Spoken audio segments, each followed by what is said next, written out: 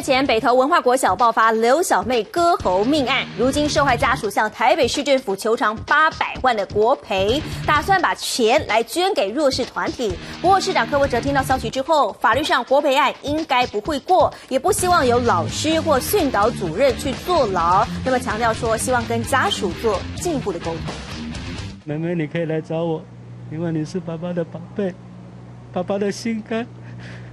爸爸会帮你完成。刘小妹遭公姓凶嫌割喉惨死校园，当时刘爸爸哭到伤心欲绝。事隔四个月，刘家人依旧无法忘却失去刘小妹的痛，决定请求八百万国赔，希望社会大众重视校园安全。不过台北市长柯文哲话说得很白，我们法律上国赔大概是不会过，是不是可以不要用国赔的方式来来处理？因为你现在国赔，那你要找出谁要负责，要是我们不需要说有哪一个老师或哪一个训导人员去做。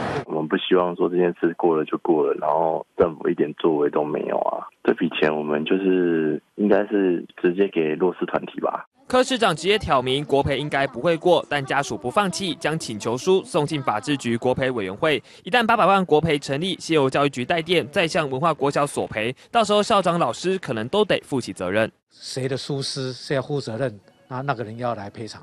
家长是讲说围墙过低。